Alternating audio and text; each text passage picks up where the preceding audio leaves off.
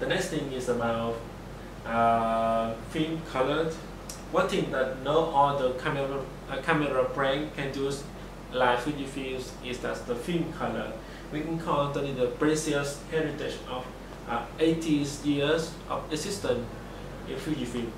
And we can see on the screen from 2003 to 2019, we got best 10 film colors was perfectly digitalized and applied to the color so that uh, they have a browse to create creative inspiration and, emo and emotion to all the users who love the beautiful film tones of 20th centuries.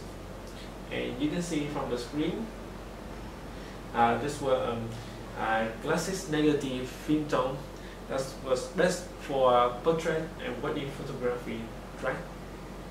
Okay.